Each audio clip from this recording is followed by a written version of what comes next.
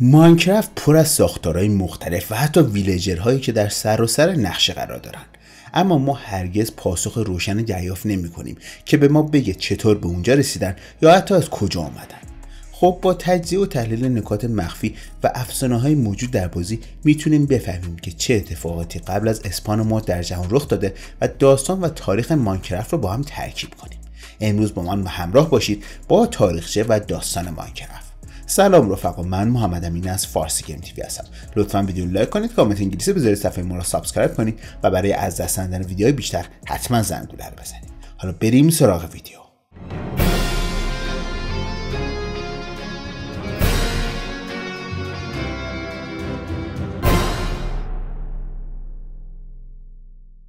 همه چیز از قرنها قبل شروع شد. قبل از اینکه معابدی در بیابان یا mineshaft در زیر زمین وجود داشته باشه. دنیای جدیدی بود که آماده بود مثل صدف برای هر کسی که اولین بار به اون برخورد کرد باشه. و وقتی به اون نگاه می‌کنید اولین نشونه زندگی انسان وجود داره. برخی ناندرتال های وحشی. اگرچه اونا برای مدت طولانی ناندرتال نبودن. با گذشت زمان اونا یاد گرفتن که ماین و کرافت کنن. برای کشتن حیوانات با هم گروه شدن و دستورالعملهای بیشتری رو برای کشتن حیوانات کشف کردن. و طولی نکشید که اونا از زندگی در زیر گرین تاپ به خانه های کوچک دنج و زیبا در کنار رودخونه رفتن تا محصولات خودشون رو پرورش بدن. این سازندگان همون سازندگانی بودند که تمام سازیهایی که امروز می‌بینیم در اوورورد ساختن. مثل بناهای یادبود و حلقه زندان قولپیکری که برای پرستش و تقدیم طلا به خدایانی که به اونا ایمان داشتن و همچنین معادن عظیم زیرزمینی که اونا ساخته بودند برای جمعآوری انواع مختلف سنگ معدن. اما دوستان قدیمی ما مشکلی داشتن. اونا انقدر جاه طلب و ماجراجو شده بودند که بلاک های معمولی و بایوم اصلاح شده خسته کننده یک جنگل اج دیگه رضایت بخش نبودن. سازندگان باستانی می‌خواستن چیز جدیدی کشف کنند و این زمانی بود که مردی به نام الکساندر پادشاه یکی از بزرگترین و پیشرفتهترین سکونتگاه های جهان با پسرش پورتال ندر رو ساخت جایی که داستان ما واقعا شروع میشه. الکساندر بیش از هر کس دیگه ای میل به ماجراجویی داشت و آماده بود تا ابعاد جدیدی به خودش بگیره. با این حال قبل از ورود به داخل اونا 15 خوش به پورتال فرستادن تا ببینن که آیا اون امنه یا نه. و تنها یکی از 15 تای اونا برگشت. خب بچه فقط یکی از خوک ها زنده موند فکر نمی کنم بتونید فقط با زره آهنی وارد بشید. به محض ورود به ندر موج عظیم از گرما بهشون خورد. شبیه به موج باز کردن در اجاق پختن کلچه. اما این مکان بوی خوبی نداشت و برای از دیدن یه مکعب سفید قولپیکر که برخی از خوکهای باقی مونده از قبل رو منفجر کرد بلافاصله به تیمی از سازندگان دستور داد که شروع به ساخت قله های قرمز بزرگی کنند که شبیه هایی بود که در خونه داشتند. این قلعه های ندر برای محافظت از خود در برابر محیط خشن ندر و مکانی برای استقرار و ذخیره قارت خود استفاده میشن. برای افزودن بیشتر به این جامعه ندر سنگرهای سنگی عظیمی برای نگهداری خوکها برای دسترسی آسون به غذا ساخته شد و چندین پورتال ندر با تجهیزات فرار پشتیبانی ساخته شد تا دسترسی سریع به اوورورد رو فراهم کنه. همه چیز با شکوه پیش می‌رفت و الکساندر آماده بود تا اکتشاف جدید دیگر رو برای فتح اعماق ندر را اندازه کنه. اما در یک صبح تاریک اوضاع بدتر شد.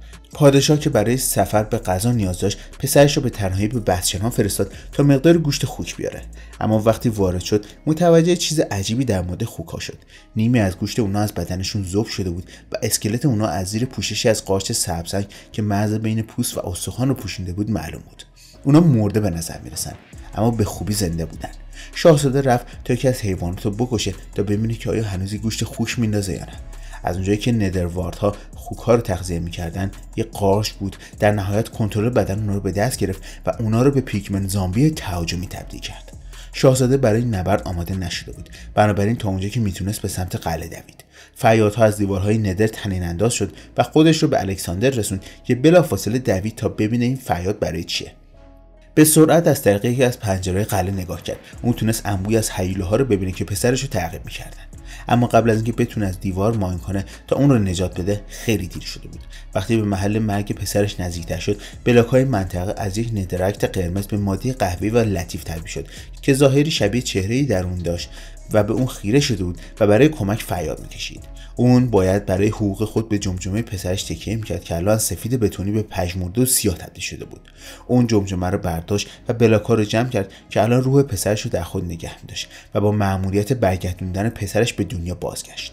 اون احساس میاد که ولش برای اکتشاف و قدرت باعث کشته شدن پسرش شده و برگردوندن اون تنها بود که می‌تونست خودش رو ببخشه. با این حال با وجود شهرت بالا اون همه در پادشاهی فکر می‌کردن که اون دیوونه شده و فکر نمی‌کردن راهی برای برگردوندن مردگان وجود داشته باشه. اما پادشاه وسواس داشت و بعد از آزمایش متعدد متوجه شد که مقدار انرژی در سولسن پنهان شده. وقتی با چکمه های سول از روی اون میدوه روحهای کوچیکی از سولسن خارج می‌شدن و به اون سرعت می‌دادن. نه تنها این بلکه اون متوجه شد که سولسن در یک محیط بیجان به ندر زندگی میده. اگه در اون رشد کنه. که اون رو به این باور رسوند که اگه بتونه به نفی سولسن و جمجمه مرده پسرش رو کنه می‌تونه اون رو به زندگی برگردونه. و بعد از تلاش های بیشماری برای آزمون و خطا در زیرزمین های تاریک خود بالاخره متوجه شد یا حداقل فکر می‌کرد که متوجه شده. با وجود اینکه ویدر از روی پسرش ساخته شده بود پسر واقعی اون مدت ها بود که از بین رفته بود و توسط انرژی ندر فاسد شده بود. چند نفر از نگهبانان پادشاه اونا رو به واقعیت برگردوندن و اونا بدون اینکه به عقب نگاه کنن شروع به دویدن کردن. اونا شانسی در برابر ویدر نداشتن یا نمی‌دونستن چطور اون رو شکست بدن. بنابراین به فرار ادامه دادن و پادشاهی و تمدن خودشون رو به ویرانی رها کردن. بعد از چند روز دویدن پادشاه و بازموندگان باقمونده هنوز نتونستن از صدای انفجارهای دور در امان بمونن و اونا نزدیکتر می‌شدن. اونا می‌دونستن که ویدر از تغییر اونا دست نخواهد کشید تا زمانی که تا اونجا که ممکنه روحها رو جمع کنه. بنابراین شروع به حفاری و پنهان شدن در زیر زمین کردن. اگرچه بازماندگان زیادی از پادشاهی اینا باقی نمونده بود. تعداد معدودی که هنوز در گروه بودن تونستن یه دیژ مستحکم در زیر سطح بسازن. به این امید که ویدر هرگز به جستجوی زیرزمینی اهمیت نده.